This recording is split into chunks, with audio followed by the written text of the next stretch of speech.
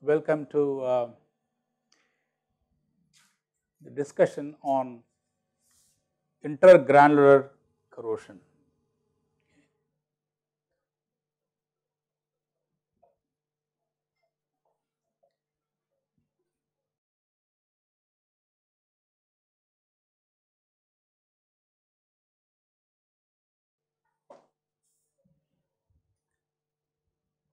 This is a, a very important topic.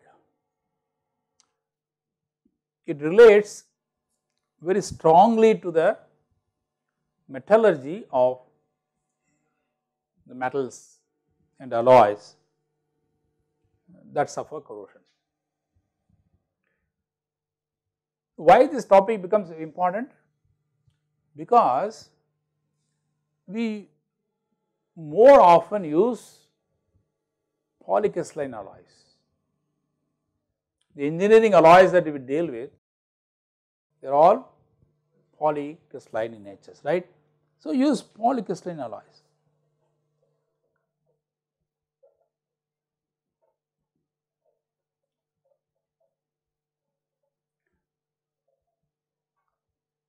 are used for many of these structural applications. When I say polycrystalline, what do you mean by that? I mean you, you take this any of these metallic alloys and you grind, polish and etch and look at the surface with a microscope. What will you see? You see nice grains grain boundaries. So, schematically if I have to draw and uh, some of you uh, you have not seen they are non-metallurgists seen what you will see is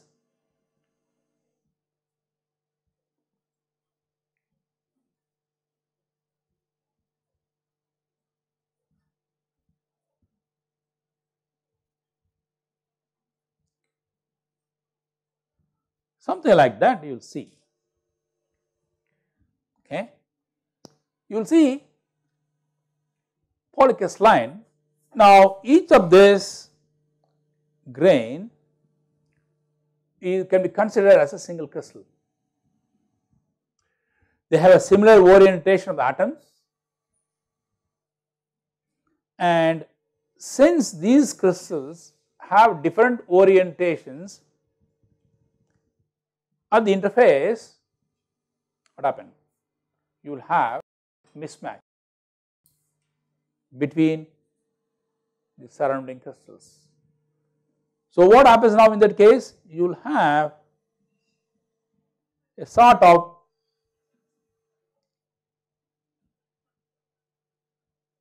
disordered structure, a disordered arrangement of atoms.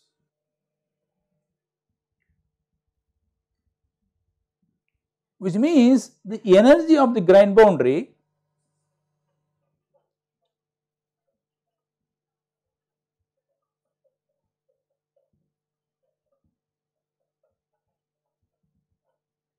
is higher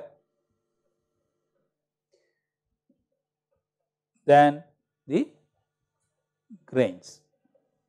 When I say energy, I mean when I say energy of grain boundary, I mean the atoms. The atoms are at a higher energy state, the grain boundary as compared to similar atoms located within the grains.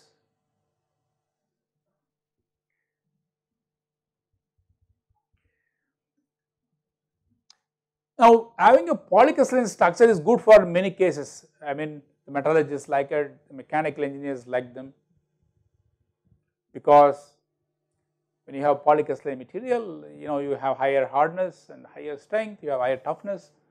So, you normally want, want to have very fine grain size. You know of Hall-Petch relationship, you know, where you can say that the the, the, uh, the strength is uh, inversely uh, related to the grain size of that. But over here we encounter a different problem. The problem is that these disordered regions have very high energy and so they can preferentially suffer corrosion. Okay. So, can suffer preferential corrosion.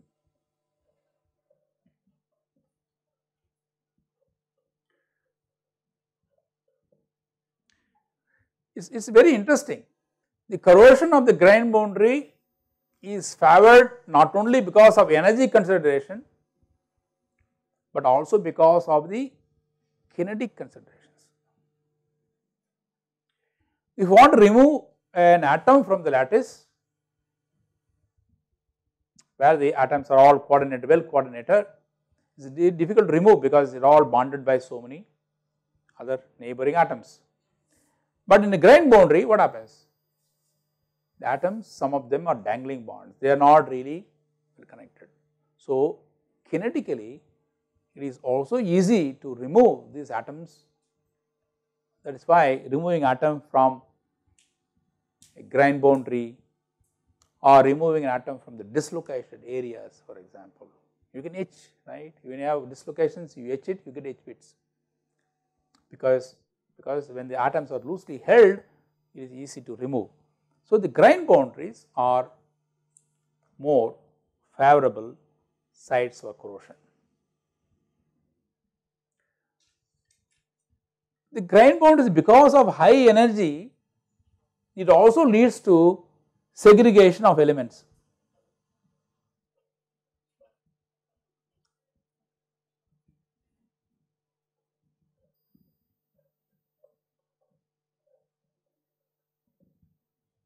Some elements are intentionally added to improve the property of the material, some of them may be impurities, right. So, they segregate very heavily, in fact, uh, you know, they, they are in fact thermodynamic considerations, they just segregate. You know very well, right, tin is surface sensitive, right. So, they go and go to the surfaces actually. And sometimes uh, segregation can be as is 10 power 5 times, 6 times, 4 times as compared to the bulk. When the elements are segregated and these elements are going to be either anodic or they are cathodic, in both the cases they can induce corrosion of the grain boundary area. If it is anodic, they dissolve. If it is a cathodic, what they do? It induces the dissolution of the grain boundary areas. So, the grain boundaries are not as corrosion resistant as the grains in a polycrystalline material.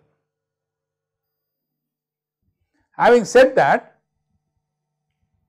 I also need to caution you that the grain boundaries need not be very highly corrosive if it is a very pure element.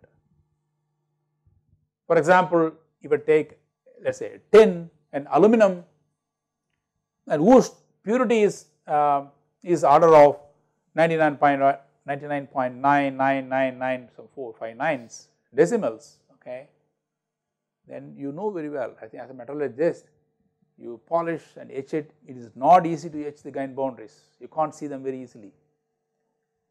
But you add a small uh, alloying element, it becomes very easy to etch. So, the grain boundaries no doubt are high energy sites, they corrode, but the extent of corrosion also depend upon the kind of segregating elements present in the material, in the grain boundaries especially. Okay. So, that has to be very clearly understood. Do not say that all the grain boundaries are going to corrode very heavily and so you have problems. You have, we have steels for years they do not undergo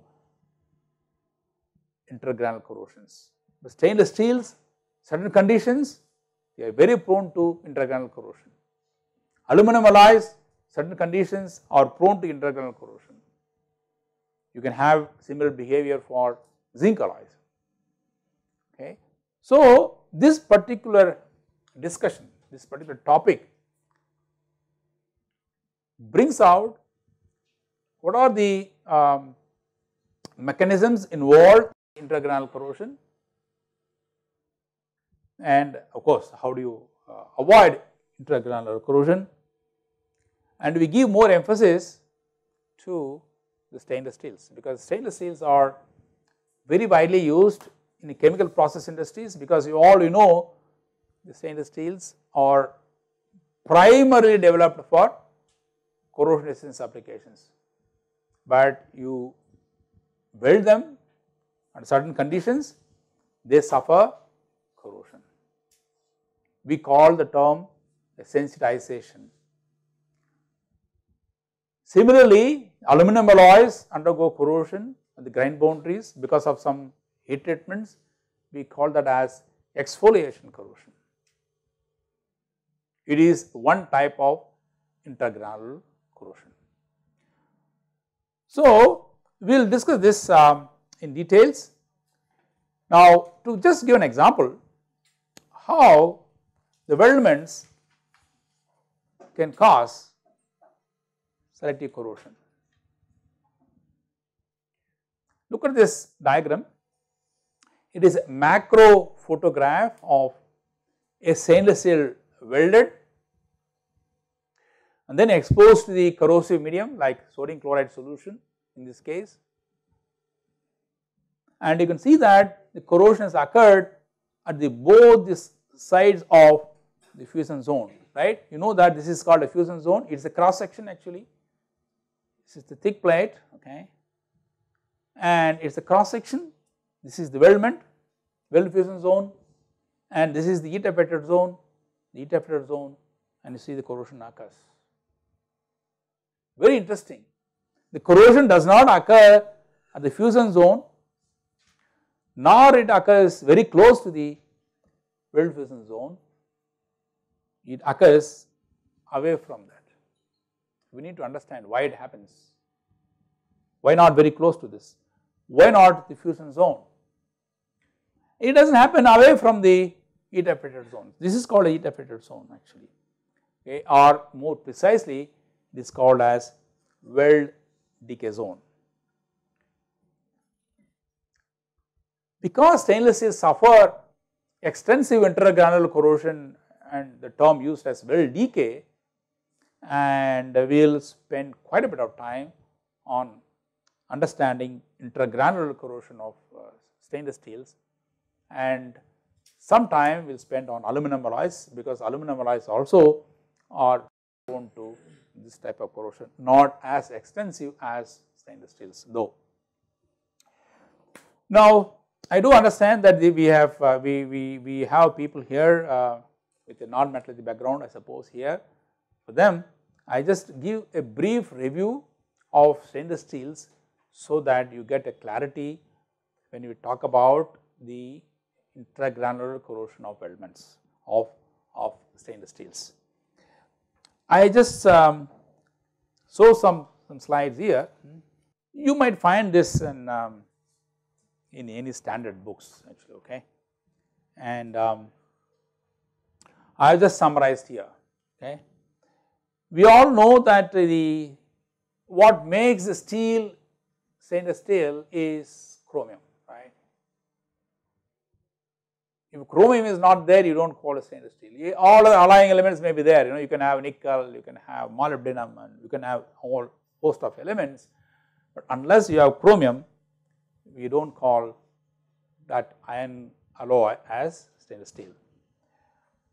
They have some properties I am summarizing here briefly, I can go quickly because most of you would be aware of this.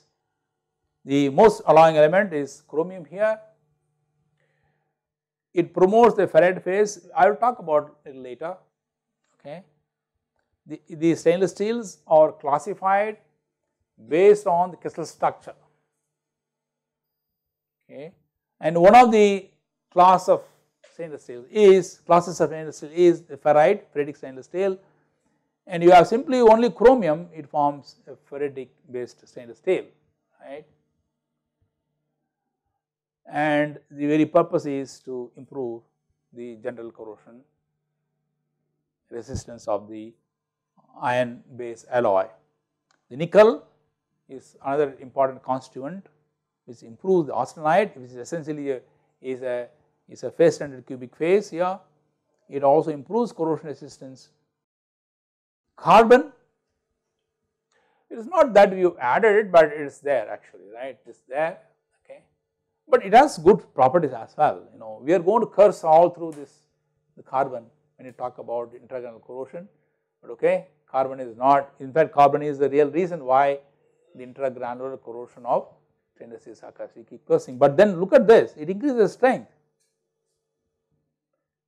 Okay we will see how important it is and if you lower the strength what happens? The cost of the reactor goes up. If you lower the strength of a alloy if you want to make a pressure vessel you have to go for a thicker component thicker uh, thing then the cost goes up. So carbon is a problem but then we need to have we cannot simply ignore the the beneficial effect of carbon as well. Nitrogen is other element. Nowadays come out with a nitrogen containing stainless steels, it increases strength, improves pitting resistance you have seen before to certain extent it also improves the uh, uh, weld decay resistance okay. The manganese is, is, is added, it also reduces the hot cracking uh, when you weld the stainless steel um, sheets. The molybdenum again is, is, is a ferritic stabilizers you have seen before improves pitting corrosion as well as the crevice corrosion resistance.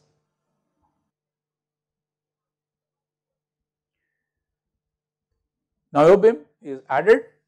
Again we will see later why we add niobium. It is a ferritic stabilizers. It forms stable carbonitrides resist sensitization. Again we will see this later. Silicon. It improves uh, wetting flow oxidation resistance all the stuffs. Titanium again has similar effect as that of the niobium here.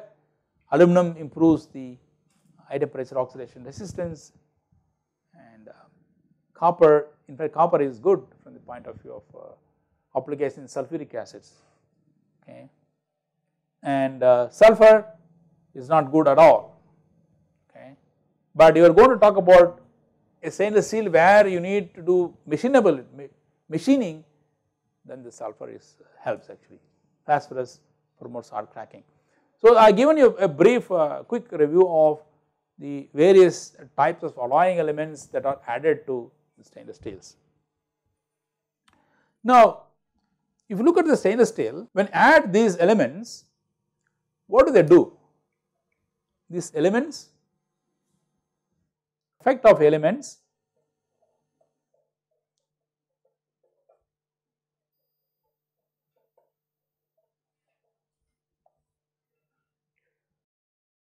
they may change the crystal structure.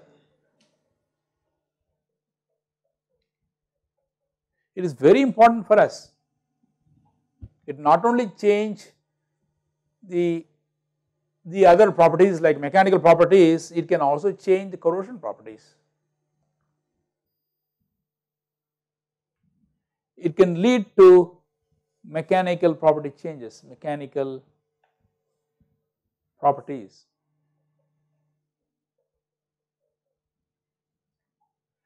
can affect weldability. Of course, it affects the corrosion resistance.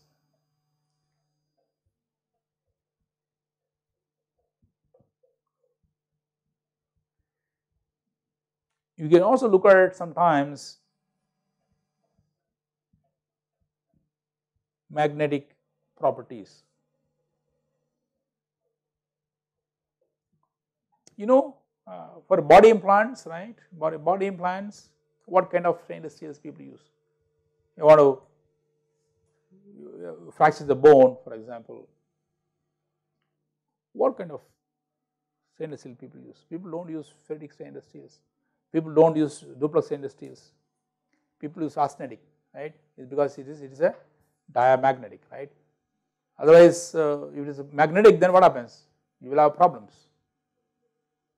So the magnetic properties sometimes may be good but not always it can affect this. It can also affect the thermal conductivity.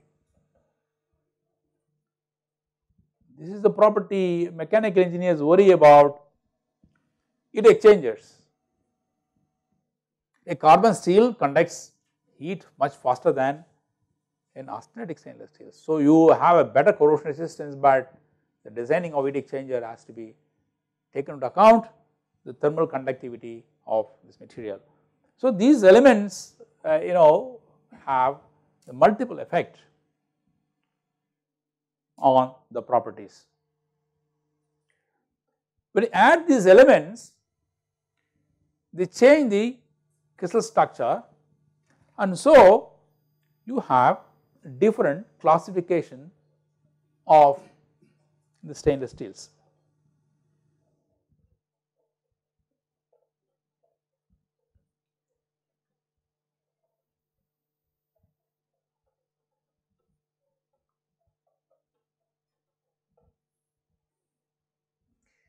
Now the just take iron and add chromium to it, you get a stainless steel which is called as a ferritic grade stainless steel. What is the crystal structure of this? This BCC body centered cubic structures. BCC.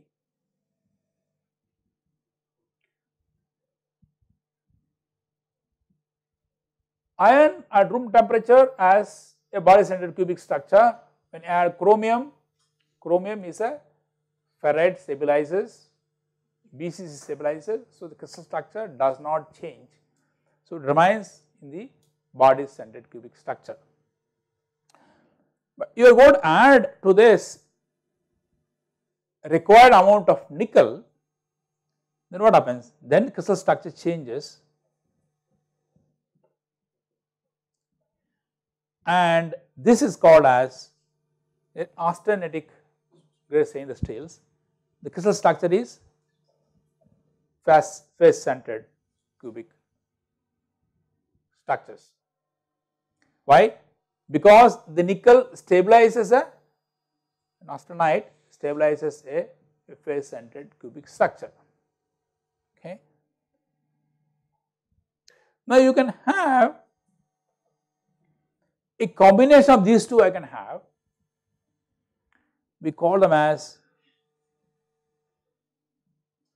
duplex grade stainless steels. It has got BCC structure plus FCC structures. BCC is, is also termed as alpha, FCC is termed as a gamma here and this is also called alpha plus gamma structures. Generally, the volume fraction of, of these two phases are 50 percent each is the volume fraction.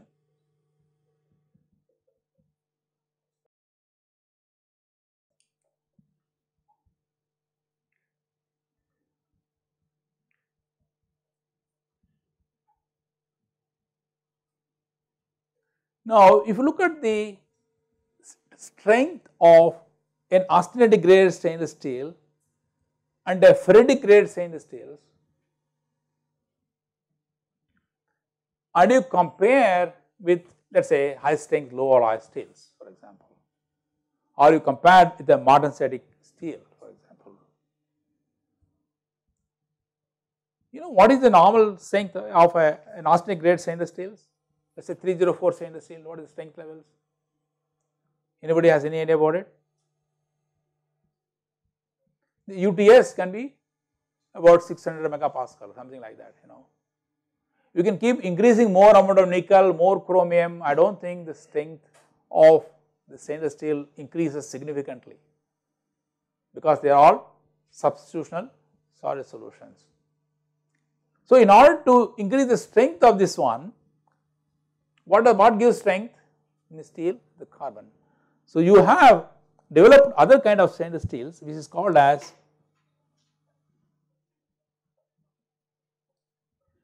martensitic grade stainless steel which gives you high strength, high hardness, good wear resistance. What is structure here? The bodies centered tetragonal, right, BCT structures, body centered tetragonal crystal structure is like any other martensitic steel. The difference is what? The difference is that it has got chromium. So, the main purpose of martensitic stainless steel is to have high strength, high mechanical uh, properties, but also have good good corrosion resistance, but not as good as ferritic, as not as good as austenitic or uh, duplex, but certainly is better than a martensitic steel. Okay, so it has got reasonable corrosion resistance and good mechanical properties. And so you are not going to apply a martensitic stainless steel where you are going to apply austenitic stainless steel for chemical process industries because corrosion resistance is not that great, but you need to also have good mechanical properties. So, it is a good compromise between austenitic stainless steel and martensitic steel actually. You also have other class of stainless steel called as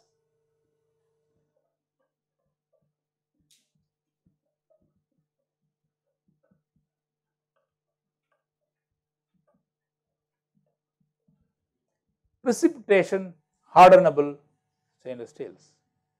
This is also called as pH grade stainless steels. In this case what people do is they add aluminum, they add copper to this.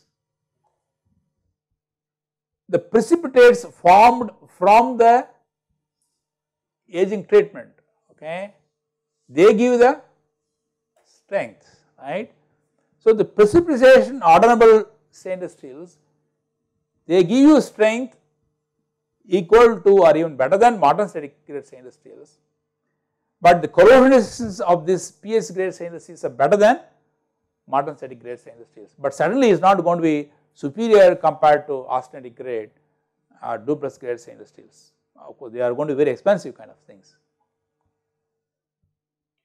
These things they start they may be called uh, you know they are called as austenitic start from austenitic phase semi austenitic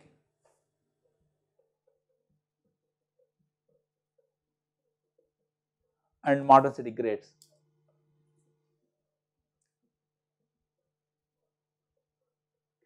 I am not going to discuss more details into into this uh, into this actually, but all I would like to uh, emphasis here is there are different classes of stainless steels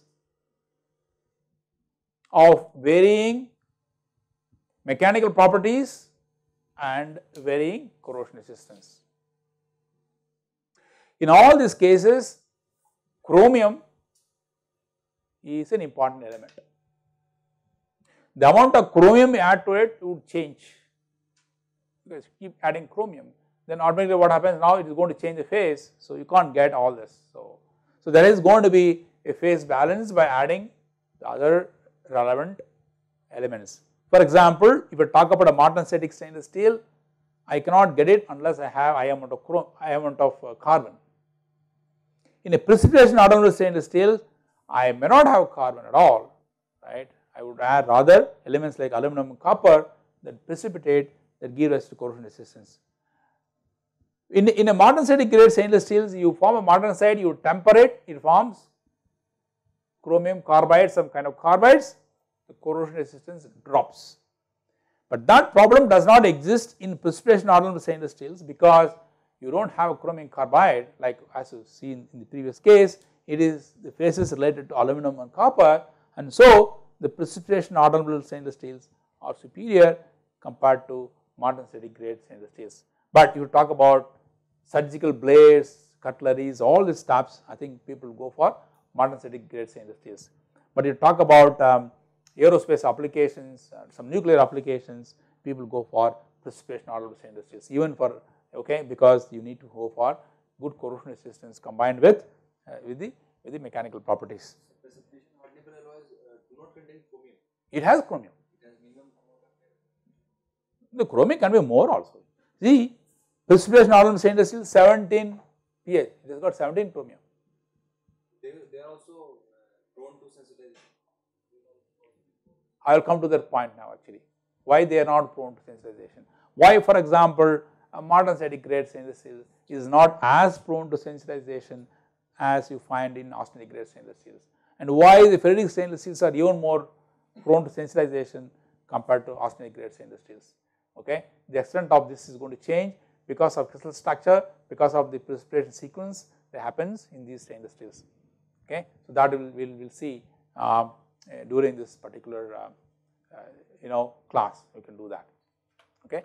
So, but what I want you to do is you get a clarity because especially when you work on corrosion you need to know the stainless steels classification and when to use what kind of combinations are required okay and that that should be well known. Of course see I am not claiming that we can read understand completely in this year I am only trying to probe you please go and read more details about this material then only you can able to able to be a good corrosion engineer actually right otherwise you just uh, you know you get some uh, bad bad information it's not possible for you to to um, to prevent corrosion effectively. So you have any questions here uh, so far? Okay.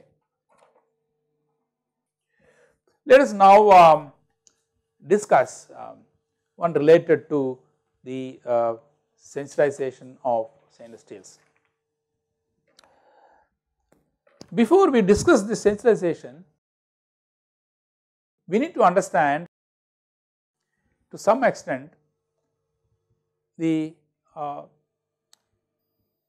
the stainless steel composition especially the austenitic grade stainless steel. Let us start with the with the uh, the austenitic grade stainless steel. Let us say let us start with let us say type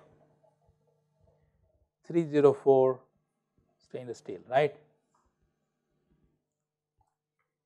What is the major alloying element here? Iron. How much is the chromium?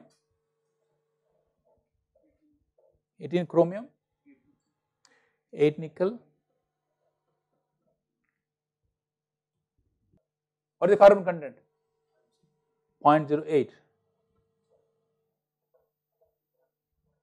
Of course, you have manganese and you have some trace element of silicon and sulfur and phosphorus. I am not uh, you know uh, talking about it, but these are major and important elements. As I told you, uh, you need to add manganese because otherwise there will be weldability problem, right? And so we are not looking at that now. Okay. So you have uh, 18 chromium, 8 nickel, 0.08 carbon, all weight percent. You know the 18 chromium is added, it is beyond the minimum required level of chromium required to passivate and you add nickel because nickel is required to make the phase austenite at, at ambient temperature otherwise austenite will appear only at the high temperatures.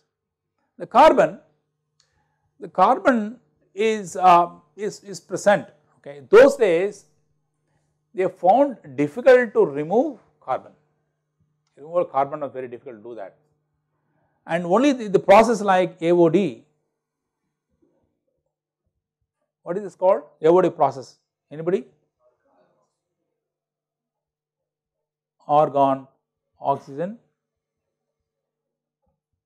decarburization, right.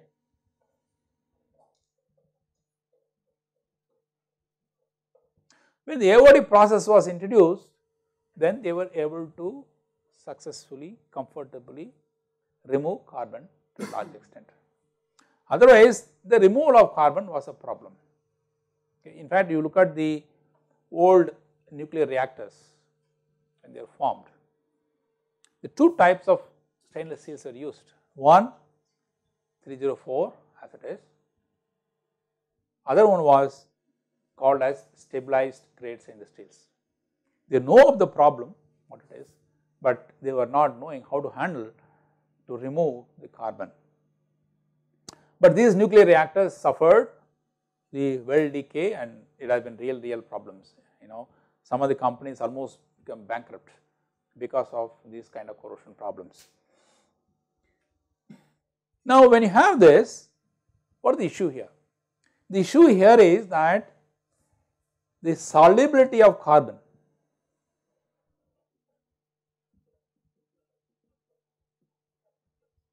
Carbon in iron 18 chromium 8 nickel at room temperature.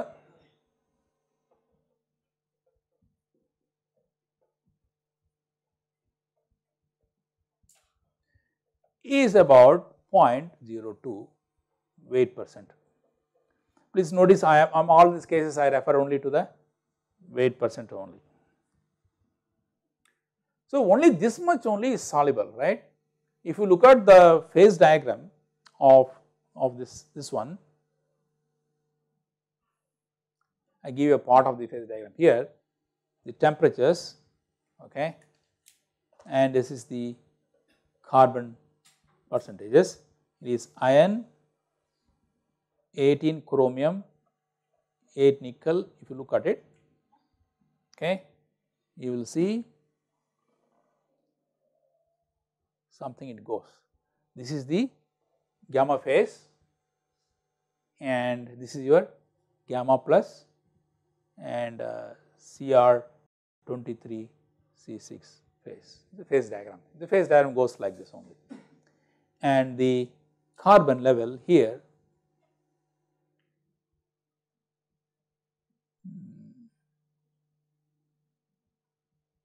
approximately 0.2 8 percent carbon.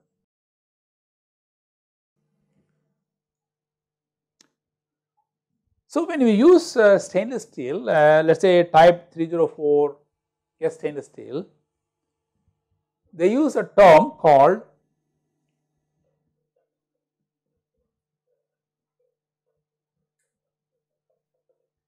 mill annealed. The mill annealed type 304 stainless steel is being used, have been used also, okay. So, when you say mill anneal, what does it mean? It means the rise temperature of this stainless steel to 1050 degrees Celsius, you hold it, the holding time depends upon the thickness of the sheet or maybe, maybe a plate or whatever. Then what do you do? They quench it When the quench what happens now? The all the carbon, all the excess carbon will be in the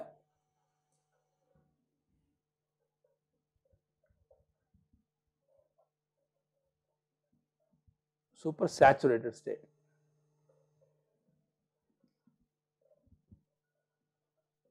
That means they are completely soluble and what you will see?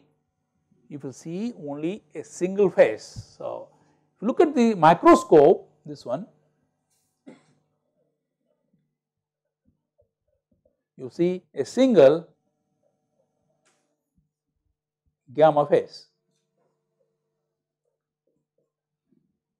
You see grain boundaries, you see grains all you can see that, but you would not see the presence of chromium carbide phase. It is not going to be there at all. I am not saying that there are no other uh, phases, uh, you know, in, in, other sense. For example, you may have manganese sulfide inclusions sometimes. Sometimes you may have some oxide inclusions can be there. I do not mean you know when I say uh, the gamma phase is uh, single phase I do not mean that there are other inclusions but these inclusions are unwanted one You have no way of I mean controlling them completely okay some amount of inclusions are going to be there. But what I mean meant was that the it is, it is the phase is formed because of iron, chromium, nickel, the alloying elements, uh, you know, this, this, this, this are not going to be there at all. It can be single gamma phase are going to be there. So, in this state, chromium is completely in the solid solution and provides an excellent passivity actually.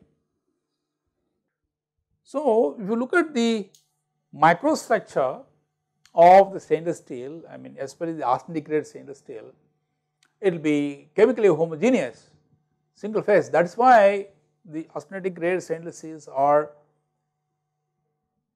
very good materials from the corrosion point of view because chemically they are homogeneous.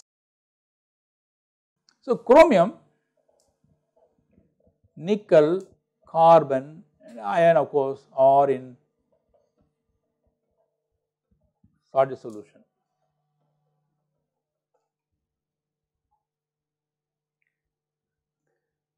So, provide excellent corrosion resistance.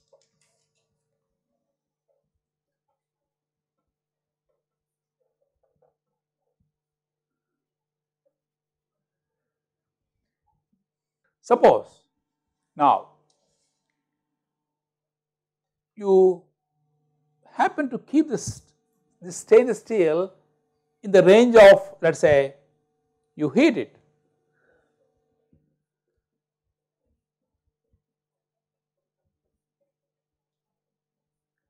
Steel in the temperature region of 450 to 850 degrees Celsius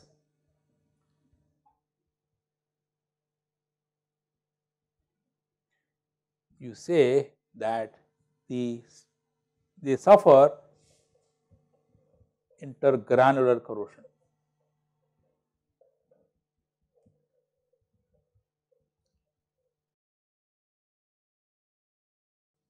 They suffer much of very much intergranular corrosion. Please see that the temperature has a range here 450 to 850. In fact, you know it can even suffer at 400 also I mean it can happen even 400 it can happen even in a nuclear power plant it happens at 300 degrees Celsius but it is kept for 40 years 50 years 60 years and all.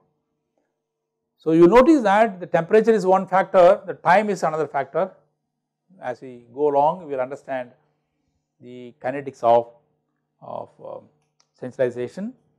So it suffers intergranular corrosion. What it is?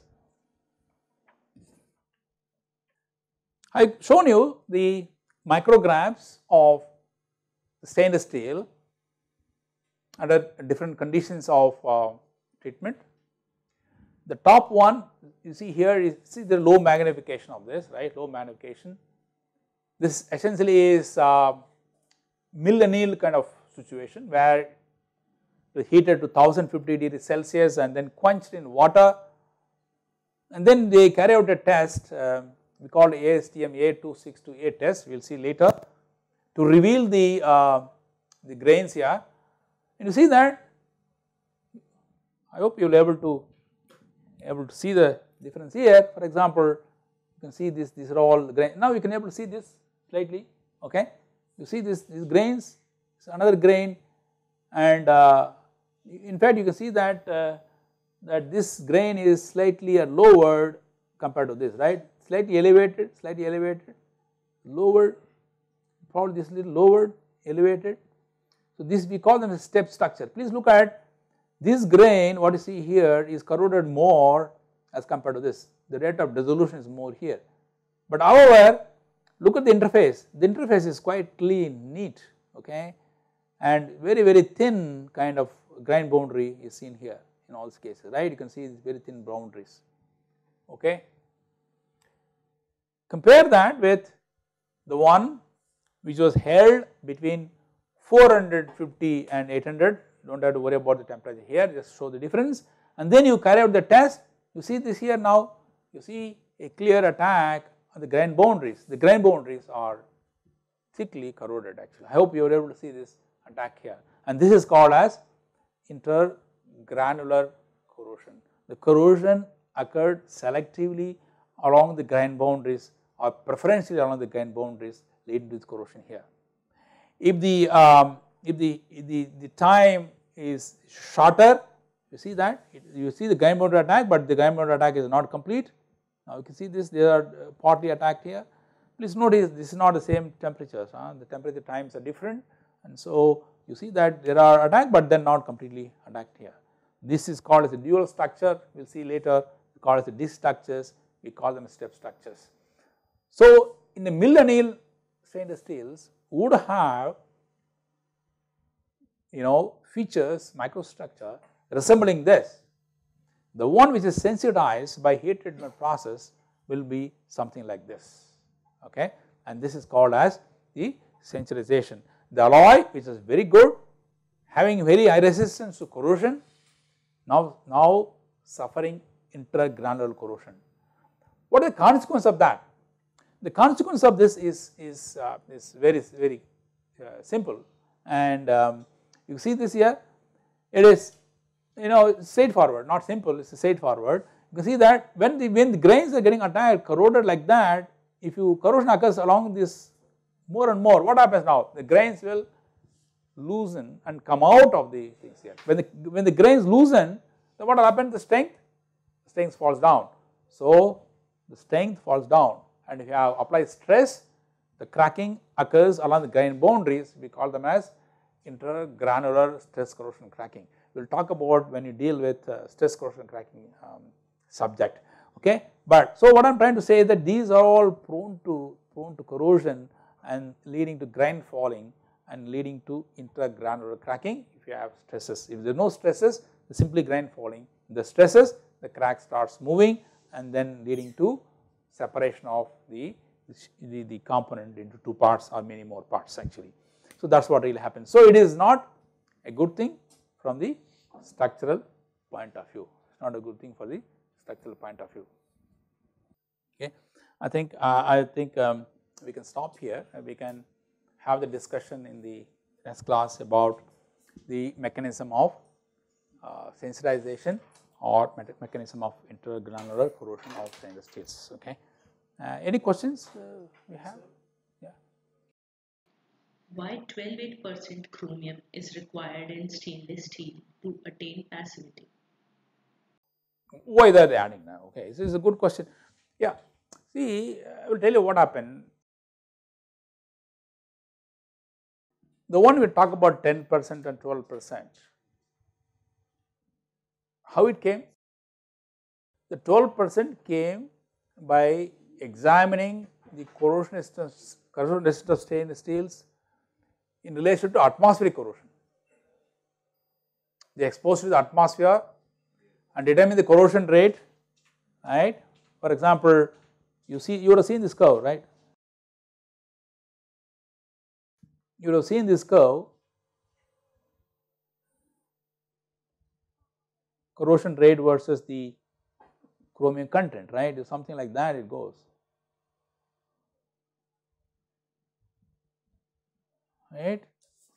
This diagram corresponds to atmospheric corrosion.